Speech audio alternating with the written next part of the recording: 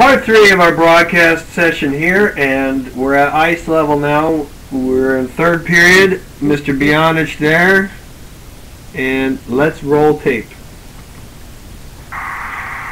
Right, working the goal line here, getting over the shoulder perspective. Working for the best angle, sight lines, being in position, being at the net, being where we need to be. Seeing what we need to see. Calling what we need to call. Two steps.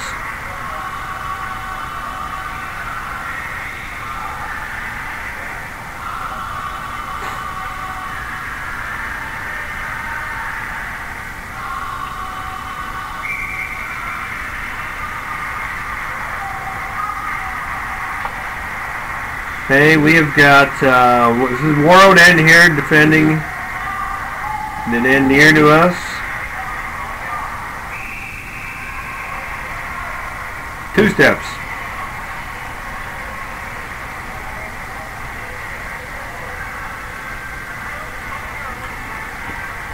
Alright, I think it's five to one at this point. Warriors pretty much spanking the Hilltoppers.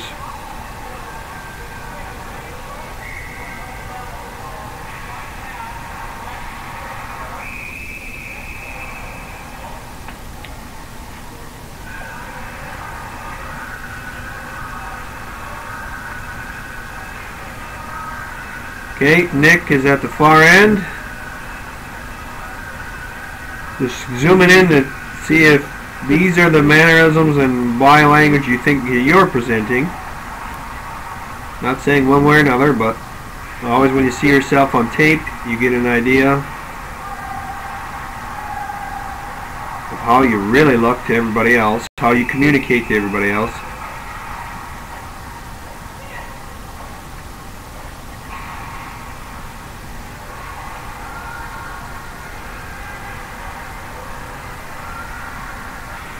Hey, arm up, bam.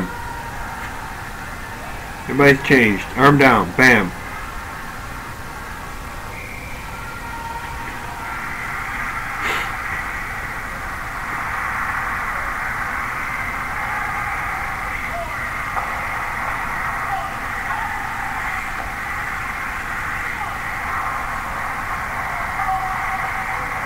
Oh, you gonna take me home tonight?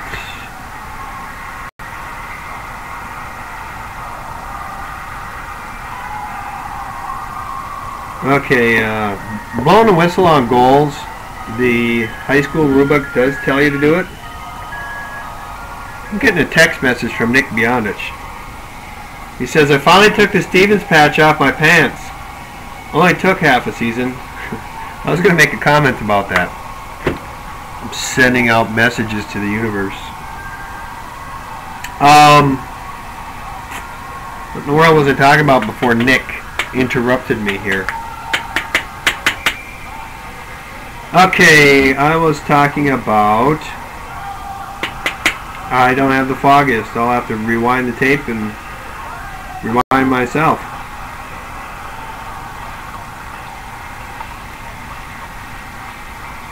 Hey, there were some real rubes standing next to me in the end here when I was taping. It was too much. One guy was wearing, I was going to try and get him on video, but he'd probably see me videotaping him and he'd come over and spit some Beech-Nut in that dude's eye.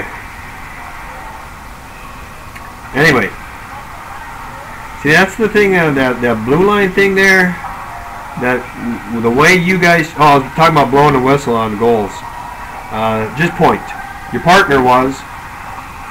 I don't know why everybody else, it, everybody, it's just a, a thing that's done. So, that'd be my advice. Um,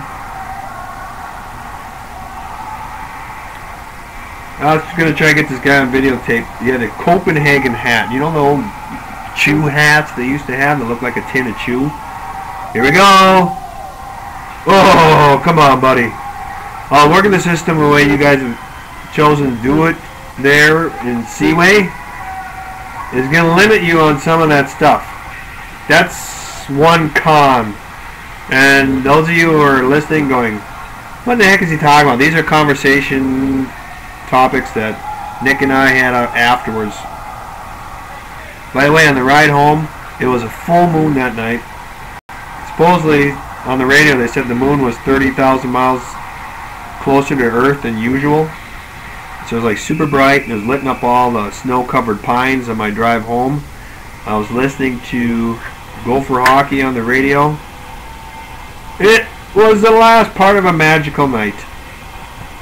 I'm telling you. I hope the guys working this game enjoyed it as much as I did. Okay, we're halfway into this section here.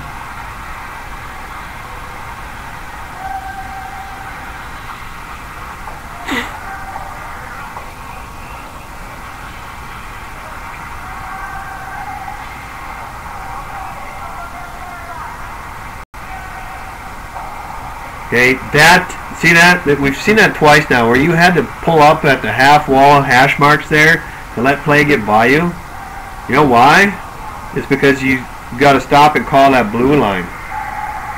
Now, what I do, and what a lot of others do, which is they drop, whoa, that wasn't very nice. Anybody want to see that again? and when we watch your delay here, it looks I know you've worked a lot on not looking nonchalant. Looks kind of casual in there. Here, blow him up. Blow him up. There you go. I'm pissed off. I'm going to push that kid down. Okay, does that look like an NHL referee with the delay? Okay, slow it down a little bit, Nick. Oh, look at that. A little wackatooey over here. I'm going to try spear you in the elbow. That's why we keep all 40 guys within our sight at all times. That's why we keep everybody in our view because of stuff like that. And what if you really did pitchfork them right in the gizzard? You're going to be able to see that. Um,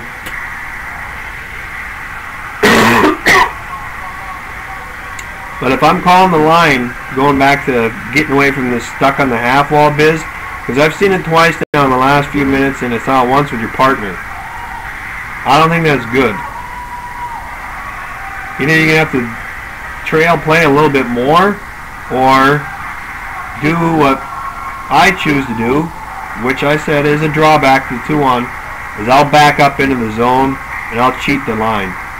Something's getting cheated there, and that is the one drawback to the system. I have very many cons, or excuse me, pros versus cons in this system that I like it why I like teaching it. But one con is you're cheating something when you're on that line, either the line or your view of play coming over the line. And that's unfortunate in a three official system.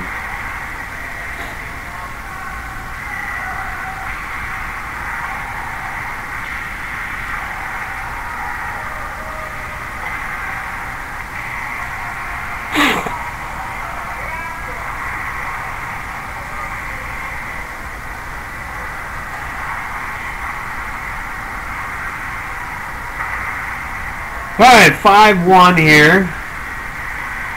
Mars Lakeview Arena, Duluth, Minnesota, Friday, January 29, 2010. Working the goal line, working the sight line. Okay, that's where you could have, you know, consider bumping into the net. I know that is totally unnatural, and that's why it's a tough move. I like teaching things that uh, are natural, but when you bump into the net, players really are in tune that there is a big metal cage there and really they don't go near it.